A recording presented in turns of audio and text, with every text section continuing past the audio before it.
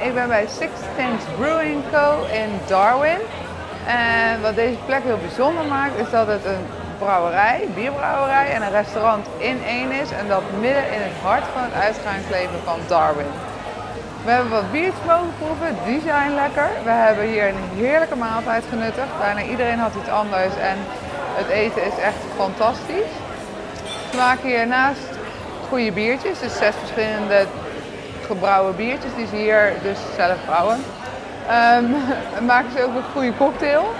Uh, een heel uitgebreid menu qua drank. Uh, het eten fantastisch.